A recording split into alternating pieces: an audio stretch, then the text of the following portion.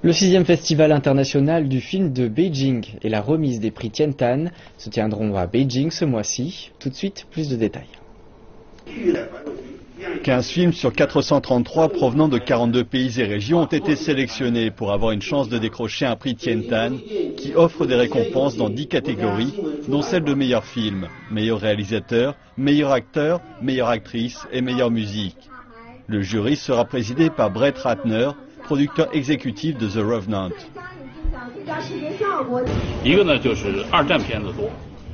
Plusieurs films parlent de la Seconde Guerre mondiale et leur réflexion sur cette période de l'histoire est profonde. Un certain nombre de films reflètent la réalité de la vie, tels que le système d'assurance de retraite et autres situations de la vie. Et des 15 films sélectionnés, plusieurs seront présentés en avant-première en Asie. Hormis Brett Ratner, le jury du prix Tientan comprend également Yojiro Takita, réalisateur japonais, Florian Unkel von Donnersmarck, réalisateur allemand, Teddy Chan, réalisateur hongkongais, et Su Ching, une actrice chinoise. Go Away Mr. Tumor et The Master, deux films chinois ont été sélectionnés.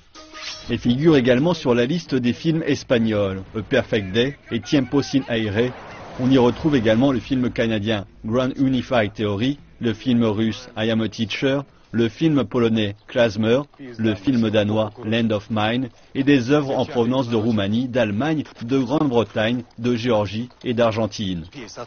Le festival débute le 16 avril et se termine le 23.